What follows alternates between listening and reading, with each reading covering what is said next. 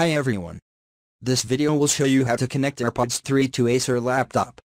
Also, learn how to pair your Apple AirPods 3 with Windows 10 computer.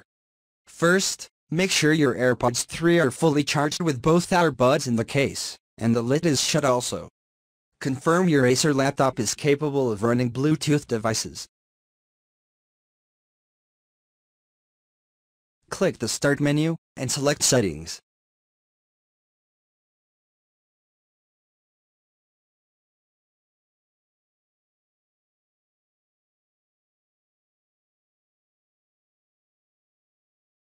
In the Settings menu choose Devices the Bluetooth and other devices.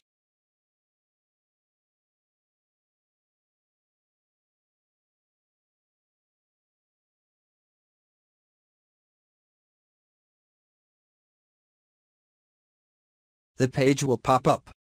Make sure that Bluetooth is turned on by checking the toggle near the top of the page. Select Add Bluetooth or other device.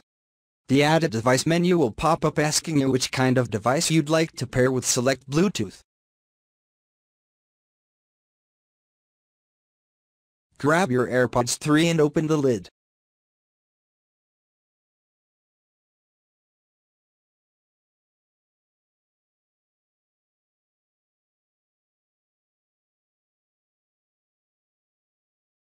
Hold down the circular button on the back of your AirPods for around 3 to 8 seconds.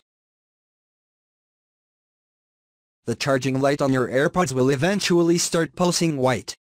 When this happens lift your finger and look back up at the Add a Device menu be patient it might take a couple of seconds for the AirPods 3 to appear.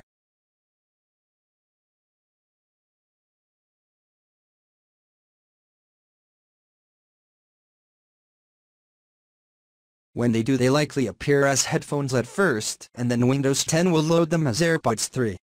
Select them. You'll get a notification, saying your device is ready to go.